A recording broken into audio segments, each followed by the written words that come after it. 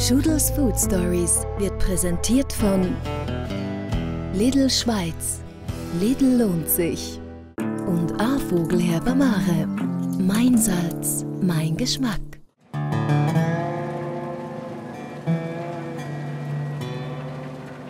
Heute bin ich an einem süßen Gewächs auf der Spur.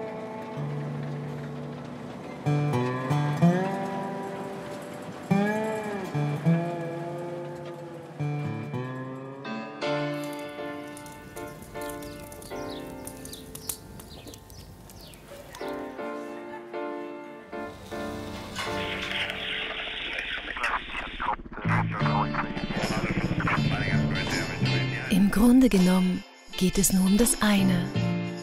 Gutes Essen.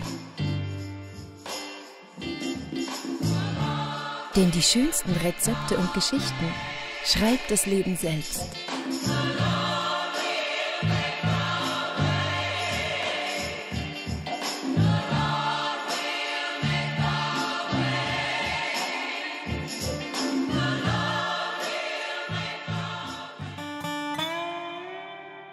Ein früher Morgen im November. Es ist schon Feierabend so ein bisschen. Jetzt sind wir da. Jetzt sind wir da noch Reif getroffen. Der Rohstoff hier direkt vor uns versüßt uns Also das jetzt, ist, Leben. jetzt ist eigentlich optimal Zeitpunkt, kann man sagen. Jetzt haben wir auch schon ein bisschen kalte Nächte gehabt. Und die Pflanze tut erst von dann an, also merkt, jetzt geht es in den Winter, fängt sie richtig an einlagern. Rees hat auf seinem Bett Hürzuckerrüben angebaut. Genau aus so einer Rübe gibt es unseren Schweizer Zucker. Jetzt sieht man es gut, ist der Spitz noch schön dran. oder? Jetzt ist der meiste Zucker hier oben und hier unten. Okay. Und wenn wir äh, so einen Vergleich machen, wenn wir jetzt hier sechs so solche Grübe nebeneinander tun, ist dann ein Kilo reiner Zucker. Das ist schon effizient. Eigentlich. Ja, das ein paar Kilo Säcke. ja, ja. Der optimale Zuckergehalt liegt zwischen 15 und 20 Prozent. Und dann haben wir es verladen, geht der Herd ab, weil wir ja möglichst wenig Fremdbesatz mit diesem Herd. Voilà. Das sieht super aus. Es hat schon so ein bisschen den anderen Geschmack. Also, Ist ja die gleiche Familie, oder? Ja, es ist das ganze Fußgewächs. So, ja. ja. Die Rüben, so wie wir sie heute kennen, ist natürlich schon gezüchtet, gäng wie weiter geworden. Aber die gibt es etwa seit 1700, 18. Jahrhundert gibt's es in Europa. Mit so einer Schippe hat man früher in Handarbeit ein Feld geerntet. Schön, Schön. mit der Würze. Schön Schön. Bilderbuch.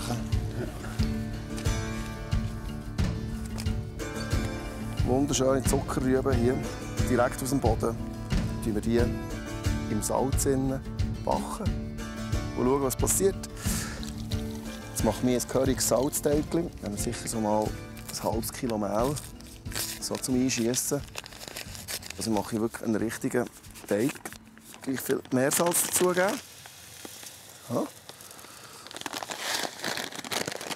bisschen Currypulver dran, dass es ein bisschen Farbe gibt und natürlich Geschmack.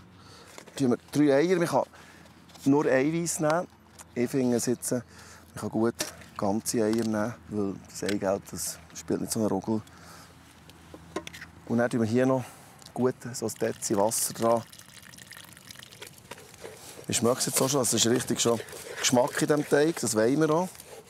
Es darf nicht so, wie man es kennt, beim Fisch oder beim Fleisch oder beim Geflügel eine ähm, lockere Kruste geben, sondern es muss einen richtigen Teig geben. Das Gute an so Geschichten im Teig ist, dass es schonungsvoll gegart wird und das vor allem im eigenen Saft. Jetzt wir es hier verschließen, so ein bisschen aufziehen. Die Rübe muss man richtig sauber einpacken. Weil die Rübe doch relativ filigran ist, nimmt sie den Geschmack vom Teig an. Mit etwas Wasser den Teig gut verschließen. Wir hinter unsere Bachstube. Und dass der Dampf entweichen kann, habe ich sie noch eingestochen. Setzen wir hier rein. Deckel drauf. Dann noch ein bisschen Oberhitze geben.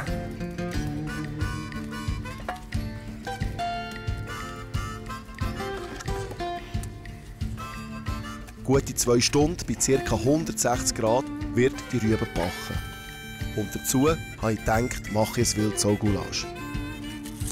Und warum habe ich das Gericht so gerne? Einerseits, weil es von der Machart her halt einfach wirklich sehr, sehr, ähm, sag ich mal, anarchisch ist. Das heisst, ähm, es ist wirklich Zwiebeln grob schneiden, das Fleisch und nachher viel Temperatur und schmoren und machen und tun. Und die sind super geeignet, auch für draussen zu machen. Also für das brauchst du effektiv keine Küche.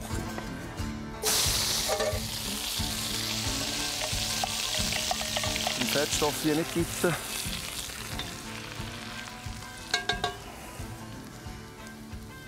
Schön die Paprika bestäuben, ja. kräftig. Nochmal ein bisschen platzieren. Dann haben wir hier Wildschweinschultern. Die wir hier schön würzen. Voilà. Jetzt auch noch würzen, die obere Seite.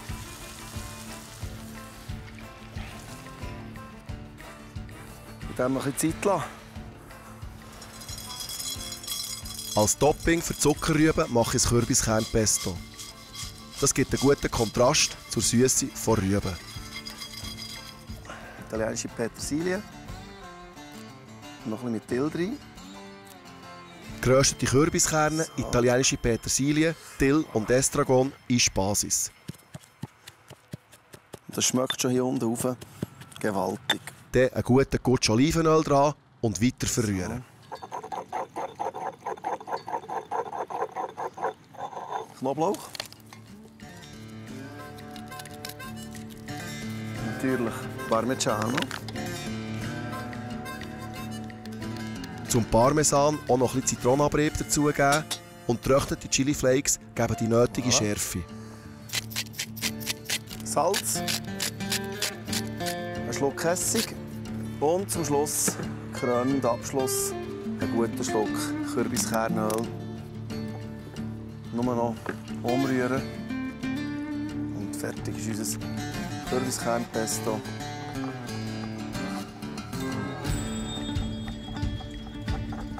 Im Endspurt gebe ich Kümmel, Zitronenabrieb und Knoblauch ins Gulasch. Das gehört für mich einfach dazu. Und dann schaue ich mal in den Ofen.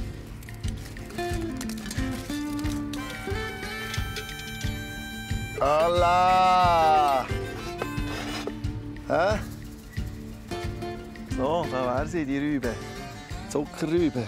Ob im Backofen oder hier. Jetzt sind die sauber auspacken hier. So. Und siehst das leichte Gelb vom Curry? Curry kann viel. Schön am nächsten Barbecue eine ganze Zuckerrübe aufgeschnitten als Beilage. da haust du hinter dem Busch vor. Schau das Prachtstück an. Hier, Karamell drückt es raus. So Spickeln würde ich machen. Schau mal, wie schön das aussieht. Das Kürbiskernpesto gibt dem süß erdigen Juwel den perfekten Gusto. Und obendrauf kommt noch ein bisschen Goppa-Schinken.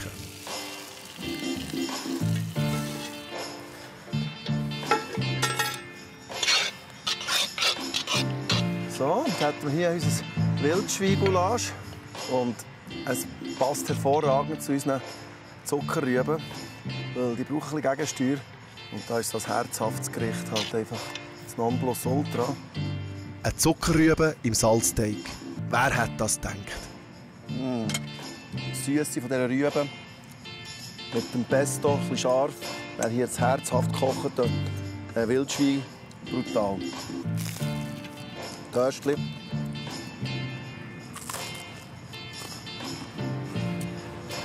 Rüben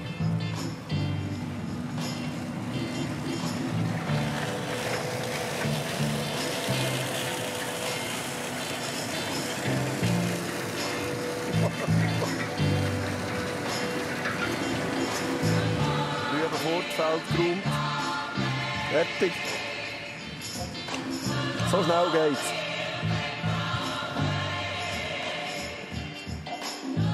Im Grunde genommen geht es nur um das eine. Gutes Essen. Denn die schönsten Rezepte und Geschichten schreibt das Leben selbst.